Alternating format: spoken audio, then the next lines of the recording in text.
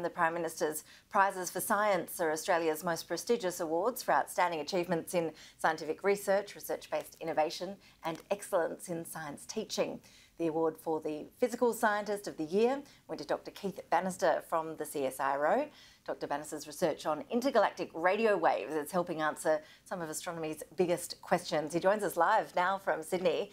Dr. Bannister, firstly, congratulations on your award. You're probably beaming with pride today, I hope. Tell us a bit about how you carried out the research. I understand you were using radio telescopes from here in Australia and also around the world. Yeah, that's right. So uh, we used a telescope in Western Australia called the Australian Square Kilometre Array Pathfinder.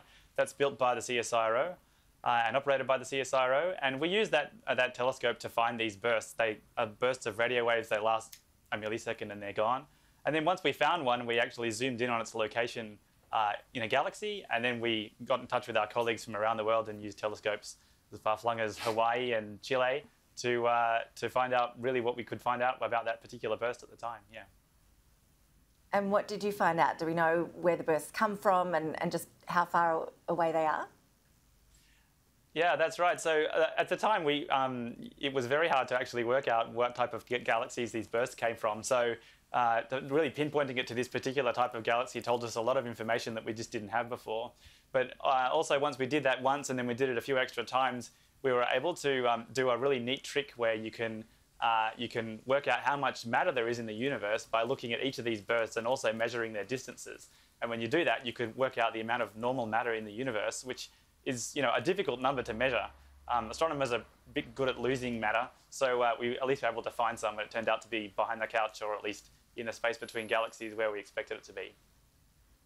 And so, did you find that the majority of bursts are coming from a similar sort of location, or are they actually spread right across the universe? Uh, yeah, so uh, we think that they come from you know uh, all sorts of distances uh, and right across the universe. It doesn't really matter which direction you look; you should be able to find these sorts of bursts. Uh, and but the interesting thing was that we we found was that um, they actually come from all sorts of types of galaxies. So some really old galaxies and some you know brand new ones, some tiny galaxies and some big ones. And that's a really surprise because usually when we uh, when we see these sorts of phenomena, we'd expect that you know the place that they come from or the place that they live tells you a little bit about the type of uh, object that made them. And what's really surprising again about these sorts of things is that uh, these bursts in particular is that they seem to come from all sorts of galaxies, which uh, is, you know, poses another really interesting question about what kind of object can make them. That's still an open question for us. Yeah, that's the big question, isn't it? I mean, what is producing these waves? How are these waves produced? What's your hypothesis? I mean, you must have thought about what's causing them. What's your best yeah. guess after, you know, focusing so much of, of your time studying this sort of thing? Yeah, well, um, look, at one point there were more theories than there were actually, you know, bursts that had been detected and um, that's only recently kind of changed. So you know, there's a huge number of theories out there, out there about what you know what could be causing them. I think there's a few good um, you know candidates. Uh, one is a special type of star called a magnetar. That's a really magnetic star, so kind of, you can kind of wipe your credit card from you know kilometers, you know millions of kilometers away. Uh, really, you know, a really magnetic star, and uh, they do really spectacular things. In fact, one of them, uh, there's a magnetar in the Milky Way that you know went bang and produced a very weak fast radio burst at the time. So that was a, a you know uh, that's definitely a possibility. But also, you know, there's maybe other types of objects that can do that too, and um, that's going to be really you know an interesting uh, you know sleuthing or, or detective story that we need to work on in the next couple of years. So not aliens, is that what you're saying, Keith?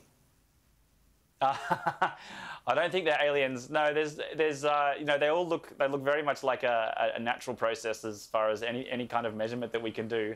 Um, there's lots of people, you know, in astronomy that are, you know, very keen to find uh, extraterrestrial life, um, but uh, you know, we haven't found any yet. Sadly, it'd be nice to be a bit less lonely in the universe, wouldn't it? Keep looking, Dr. Keith Bannister. Appreciate you joining us, and congratulations again. Thank you very much.